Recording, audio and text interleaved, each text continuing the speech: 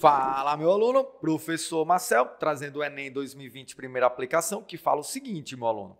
Uma loja de materiais de construção vende dois tipos de caixa d'água, tipo A e tipo B.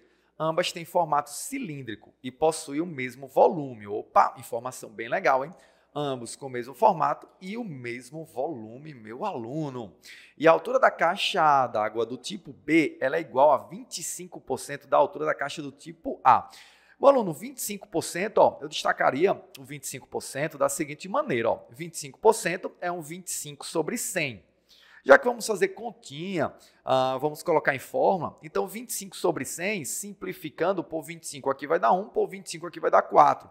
Então eu percebo que a altura do tipo B ela equivale a 1 quarto do tipo A, certo? Então uh, eu levaria essa informação, beleza? Então vamos nessa.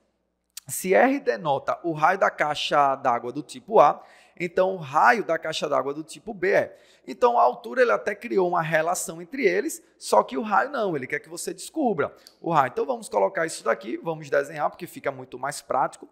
Eu tenho uh, uma, um cilindro da figura A, do meu cilindro, que foi que ele deu aqui.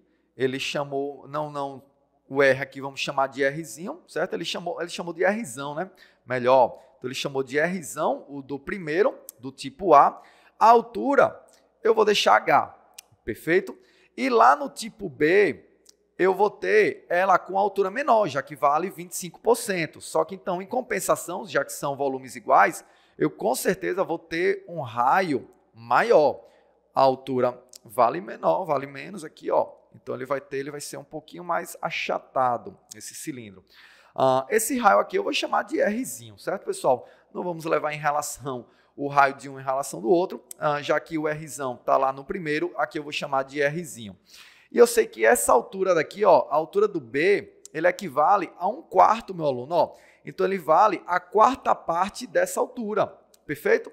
Então vamos criar essa relação agora entre os volumes. Vamos lá? Ele falou que o volume do primeiro é exatamente igual ao volume do segundo. Meu aluno, volume de um cilindro, não esquece, é a área da base vezes altura. Sempre a área da base vezes altura, certo, professor? A área da base é um círculo, então é só achar a área de um círculo. A área do círculo é fácil, prof, deixar comigo, é π vezes r ao quadrado, isso aqui multiplicado pela altura. Pronto, temos então o volume de um cilindro. Uh, o π não pediu para substituir, deixa π. O raio do primeiro ele chamou de Rzão, então eu vou deixar Rzão ao quadrado. A altura eu chamei de h, deixa h. Vamos para a segunda figura, para a figura agora que ele chamou do tipo B. O π ele não pediu para substituir, deixa o π.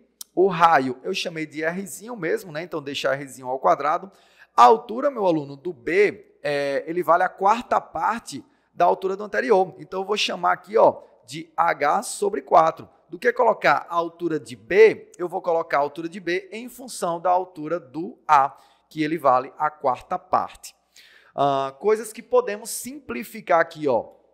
Pi de um lado, pi do outro. É como se esse pi viesse para cá dividindo. Então eu posso fazer isso.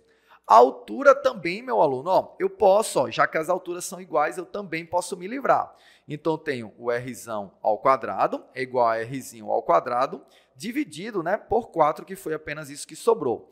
Lembre que o que você quer é o raio do primeiro, ou do segundo, do tipo B, desculpa. Então, eu vou deixar esse raio aqui sozinho, vou levar esse 4 para lá multiplicando. Então, Rzinho ao quadrado é igual a 4, vai multiplicar o Rzão ao quadrado. Perfeito. Já que eu quero o Rzinho, esse ao quadrado tem que sair, o ao quadrado vai em forma de raiz. Então, Rzinho vai ser raiz quadrada de 4 vezes Rzão ao quadrado. Meu aluno, temos apenas uma raiz quadrada. Raiz quadrada de 4 vai dar 2.